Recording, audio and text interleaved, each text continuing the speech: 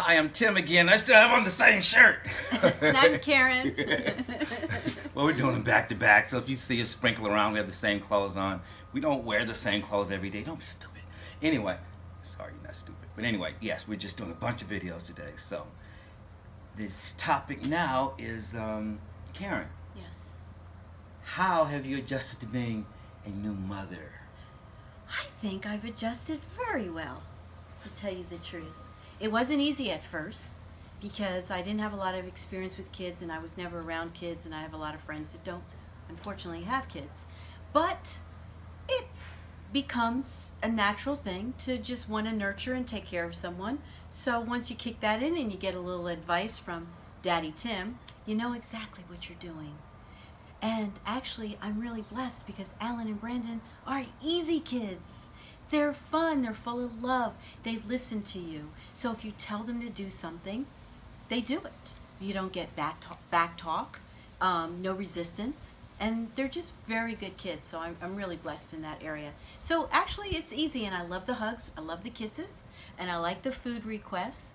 And um, I think I like that the most because it's cute. The other day, Alan put on the the kitchen uh, uh, you know, menu thing, he put uh, raspberry. He wants raspberry jelly, and he spelled it wrong. And I told him the correct spelling of raspberry, but I told him it was so cute that I'll leave it up there because I'll remember when I go to the grocery store, raspberry jelly, just because he spelled it wrong.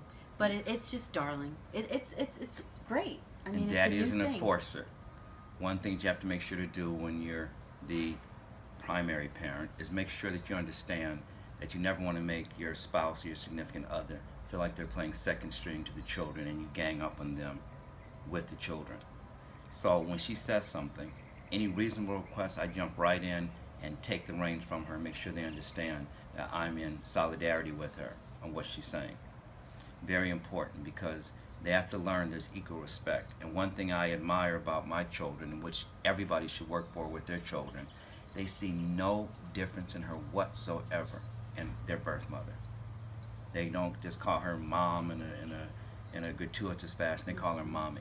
And they hug her and kiss her and tell her they love her and they just, they're all over her. And when people see, you know, us in public, she's just mom. And when they're there, they forget every trace of anything except this is their mother. So that bond had to be built by all parties involved. Karen had to do the most work because she never, ever, ever wanted children, nor to be around a man with children, had never held a baby until after we were married. So it was hard for her to have these people that she had to in interact with. And, you know, sometimes she failed. But, you know, I had to stand there and bridge the gap for everybody and explain to her what I knew from being a father and from being someone who was experienced with kids. The kids had to filter the anxiety that she sometimes had and not react to it or let it go to heart to the point where they got an attitude. You're not my mother. They never, ever, ever said that no matter what happened. They loved her right through it. I had to do the work to see both sides and make sure I was being a fair uh, uh, referee and, and, and, and play between. Sometimes I had to let her know that wasn't the right way to do it. Sometimes I told the boys, do not do that because it upsets mom. And everybody had to learn to find that middle ground. We've successfully done it in a very short amount of time. And given how much she absolutely didn't want kids, that means anybody can do it. And I told her, when you married me, you married all three of us. There was nobody else standing there but us. At the end of that ceremony, the boys came in and we were a new family. And it made a big difference in their lives. And, you know, uh, Karen did have a, uh, uh, her father at some point remarried after she was pretty much an adult and she had another woman who stood as a co-mother type of person, and it wasn't a good relationship. So she didn't understand that her relationship with my sons didn't have to be like that was in her life. But she's learned, you know, and you can't use the things that frustrated you growing up as a roadmap to how you're supposed to be. You have to remember how the things frustrated you to make sure you're not that, that. to someone else. Because while she told me about her childhood memories, I had to make her understand that you're setting my son's childhood memories with everything you do. And once she embraced that and said, oh wow, they do call me mom. They never make me feel like I'm not their mother. They never sass me. They love me. They kiss me. They hug me. I want their memories to be awesome. I'm actually their mom. Mhm. You know, and bliss. So, work hard because a family is a family is a That's right. family, no matter what components it's organized from. That's right. When you're living together under one roof, you have to be a family. Not, Mhm. oh, that's my husband and those are his kids. No. She thought she was going to do that at first, but she soon found out there's no way that could work. Nope. So, from a perfect, newly minted mom, Well, hang in there. I mean, don't give up because let me tell you, it's the best thing ever that happened in my life. There's such joy in their little faces, and I've gotten used to them asking questions because at first it used to bother me.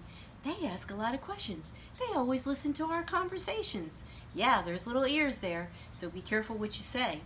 And but the joy in just when I get that hug and when I get that kiss and when they call me mommy, it's okay. Whatever I have to do, I have to do. and they're listening is how them. they learn. Mm-hmm. I always tell, there's many women that I've heard say, I never allow a man around my children. I will not date, I will not marry, I will not anything until my children are over 18 and grown and leave the house. You're gonna have, you're gonna unleash the dumbest people ever out into the world of broken people to try to figure out how to make love work. They won't know anything.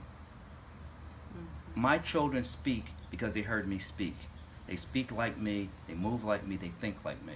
How in the world could I not make them privy to what happens in our family for real so they can learn how to navigate the very headstrong women that they will have to encounter one day? Because society is changing, the roles are reversing. And most people come up in a, in a home where it's led by a woman, so the women expect to lead and the men expect to take a free ride on the women leading. Mm-hmm. I'm not that guy. So I'm teaching my sons the values of what proper balance between a man and a woman should be. So they need to hear the reality because they're going to have to live that reality as soon as they get of a dating and marrying age. So do not try to shield your kids because all you're doing is shielding them from reality. And you're going to make their life much more difficult. They will fail for sure if they never see you with a man. They won't know what a man is. They won't know what a man isn't. They will make every possible mistake because they'll be led by the media showing them what is sexy. And that is not who they should be trying to make a relationship. That explains most of the bad relationships today. People not having the values set at home correctly. Either because their mother or their father was in the wrong relationship or they shielded them from relationships completely. So please take that to heart out of everything that was said in this video. Do not try to shield your kids. When I start dating, the first thing I want to do is have that woman meet my children, see if they like her and she likes them. Otherwise, I ain't gonna fall in love. You don't fall in love with somebody first, and then after you so in love with them, you spring them on the kids and hope for the best. It's completely backward, but that's what people do. Mm-hmm. So, let's get it right, and let's understand that the kids are along for the ride.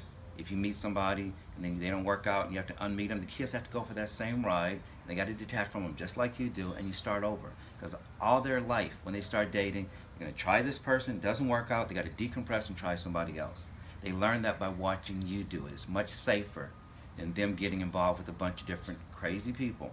And how and you react to pain. that relationship, if it's positive or negative when it ends, also they're going to take hold of that.